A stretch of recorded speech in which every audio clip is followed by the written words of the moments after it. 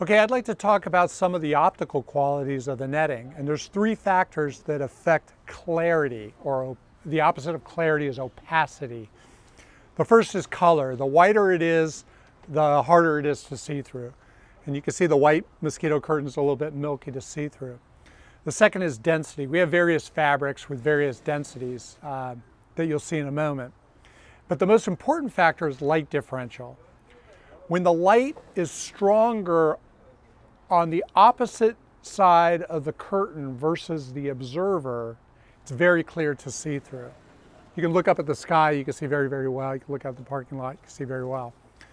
And the opposite is true. When the light is stronger behind the observer uh, and it's darker on the other side of the curtain, it's very difficult to see through. So light differential is very, very important. And you'll see that in a moment when we show you the reverse side.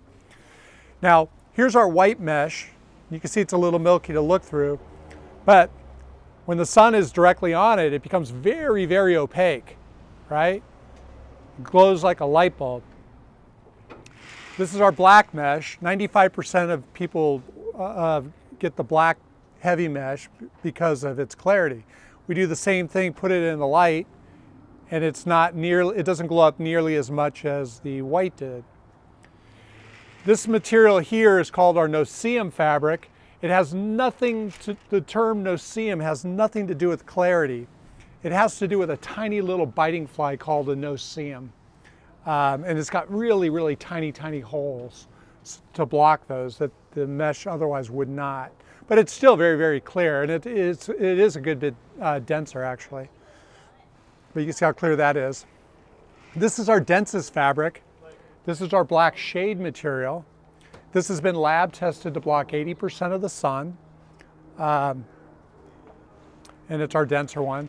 This is a cocoa brown version of the shade that we're experimenting with. We're not quite sure whether we're going to keep it, but we're kind of experimenting to see what the demand is like.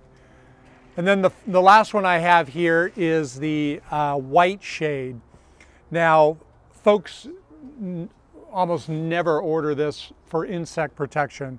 We, this white shade is actually used for outdoor movie projections.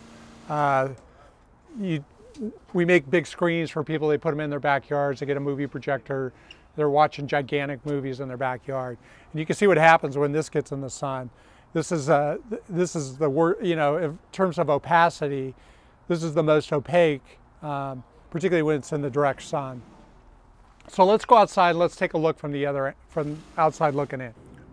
Okay, so the camera's outside and the light behind you is very, very strong and the light inside is, is dark. So the light differential, you can see the light differential there.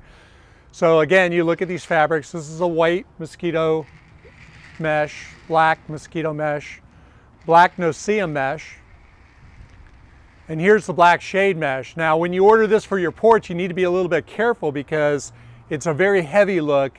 And although it's giving you um, great sun protection, and in some cases, people have used this as privacy mesh, you know, put this on your porch and it might look a little bit like the Addams family. It's pretty dark.